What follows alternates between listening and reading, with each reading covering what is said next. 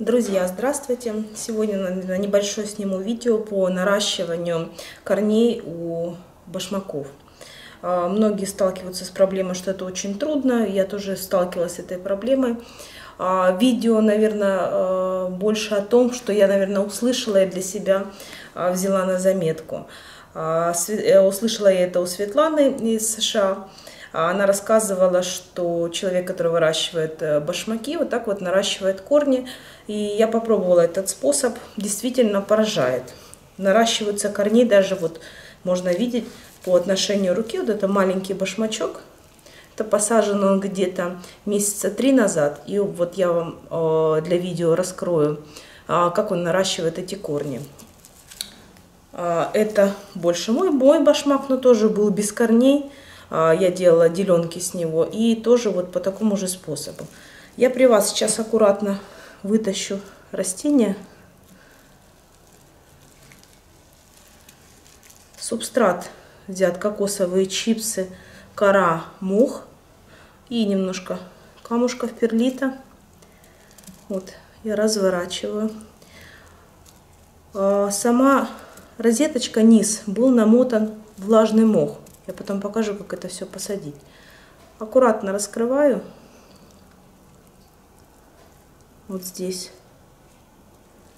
И вот я вижу, я надеюсь, и вы видите вот этот вот, это зачаток нового корня.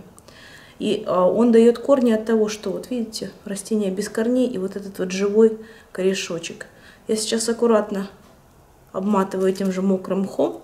Башмак, башмак содержится всегда влажным чтобы вот этот маховой комок вот у самой розеточки у низа был постоянно мокрым.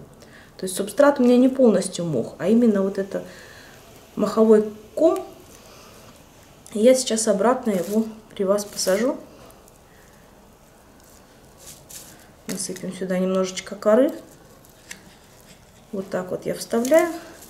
И засыпаю вот этим субстратом для башмаков. Кстати, очень хорошо, вот мне понравился сам субстрат. Кора, чипсы, мох. Но мха меньше. Так как здесь вот горшочек, здесь горшок всего 5 сантиметров, поэтому мне даже мха ложить сверху и некуда. Но те, что растения побольше, я сверху докладываю мха для поддержания вот этой вот влажности возле корней, чтобы хорошо наросли корни. И вот я его обратно засунула. Растения мы не потревожили, немножко раскрыли, но также аккуратненько посадили. А, вот эта вот постоянная среда, однородная вокруг корней, э, вокруг э, низа розетки, и она вытягивает эти корни у башмака. Вот, я пока его опускаю. И вот мой большой башмак. Посмотрим, что там внутри, потому что я не заглядывала. При вас это загляну. Тоже аккуратненько вытаскиваю. Он посажен месяц назад. И тоже можно видеть вот на видео. Вот видите, корешочки раз, здесь два. Именно вот от молодой розеточки идут. Это старые от старой не идут, а вот именно вот этот вот хороший корешок. Сейчас я обратно вытащу, чтобы он легко вытащился тоже субстрат. И я вытаскиваю, вот он, этот маховой комок, который был у него под попой, как называют. И дальше я то же самое вот так вот обматываю мхом. Вот оно. Еще добавим, чтобы полностью был вся вот эта нижняя часть в мокром мхе влажном. Мох я использую только новозеландский. Никакого лесного мха, но не люблю я его, вот как-то вот не понимаю. Он очень а, имеет структуру, если этот имеет структуру такую более пористую, как губка, то наш лесной мох сфагнум не такой.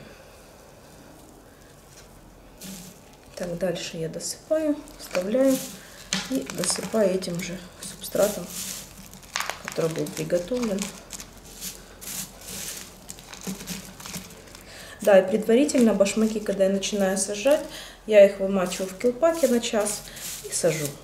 Это как бы вытягивает, тоже помогает вытянуть первые корни. Но именно от того, что корни должны пойти именно вот сам маховой комок.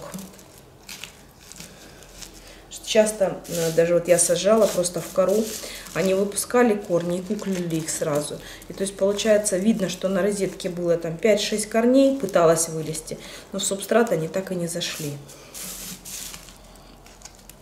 Так, отставим наш башмачок. И тут у меня недавно тоже розеточка. Это розеточка от Белотолума. Белотолум.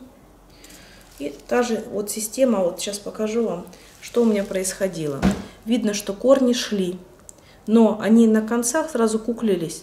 И в итоге у него как бы есть корни, но они маленькие, хотя они должны были вырасти. Это вот неправильно подобранный субстрат. Дальше вот у меня здесь подготовленный влажный мох. Вот он. Я также оборачиваю эту всю часть нижнюю. И тут у меня подготовленный горшочек. Подготовленный субстрат.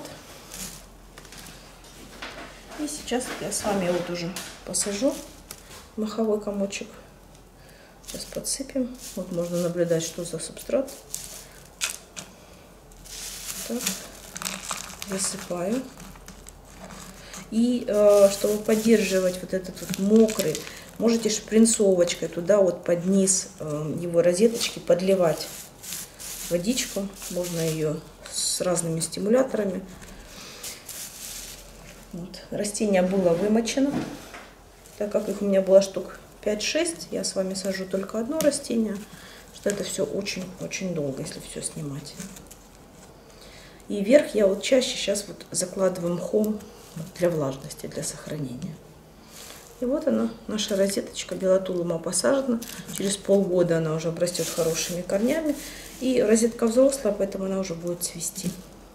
Вот такое небольшое видео по наращиванию корней у башмаков. Пока-пока!